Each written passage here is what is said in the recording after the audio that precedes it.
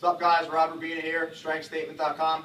Today I got Vince helping me out. We're going to go over an exercise called side lying windmill. Again, trying to increase our thoracic spine rotation. Again, similar setup as our other side lying exercises, bottom leg straight, top leg flexed at 90 on a roller or a med ball. Hands are together. Instruct the athlete to reach over with that top hand and then open up into a windmill, making sure to follow the hand with our eyes and then rotating all the way over, making sure we're getting good shoulder rotation and not just like hanging on our shoulder here, and then come on back.